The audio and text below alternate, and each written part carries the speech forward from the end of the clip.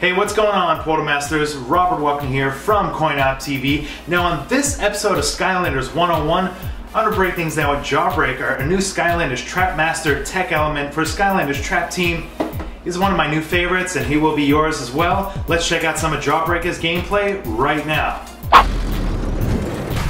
Down for the count.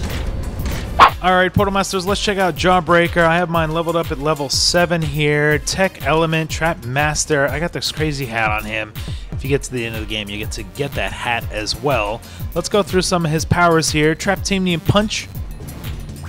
Robo Rage mode. So you press the uh, circle to enter Robo Rage, makes him move a little faster. Kind of reminds me a little bit of Wind Up there. Raging Robo Rage. Spark Shock. Press the triangle to punch the ground and release a wave of sparks. I feel like that's good when water's around, so you know, carry the spark or something. Alternating current. Uh, heavy hands. Trap punches do even more damage. And then I went with the top path here. Static cling, spark shocks attack sticks to enemies doing damage over time. Hands off. Sparking interest, con constantly releasing electronic sparks, so you'll see little sparks flying around. Or you guys may opt to go with the bottom path, bottom path here.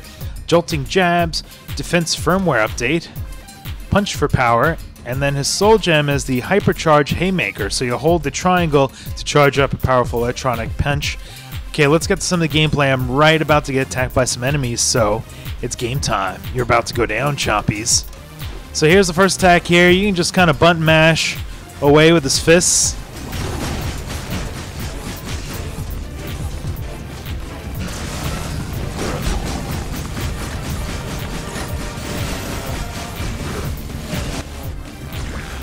And you'll see my ele electronic pulses popping out there. Let me do the ground pound sort of.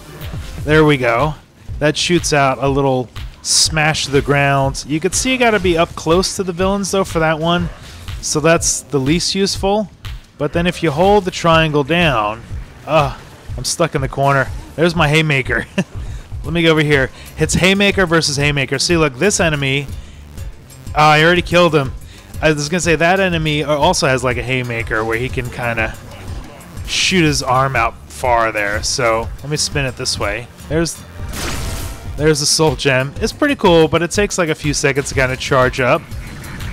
Let's see if I can get this dude right here. Boom! In your face. 300 damage.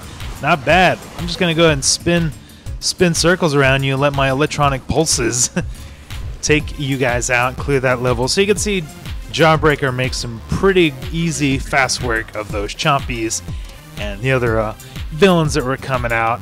And I think it just looks cool overall. I can't wait to go pick up the Legendary Jawbreaker at Toys R Us, and then hopefully I'll make a video with him. And this is just cool too when he jumps. I like the way his feet pop up there. He doesn't have like a ground pound attack per se, like Wildfire and stuff. Like some of the figures, like Snapshot, when you jump, they just keep doing what they're doing in the air.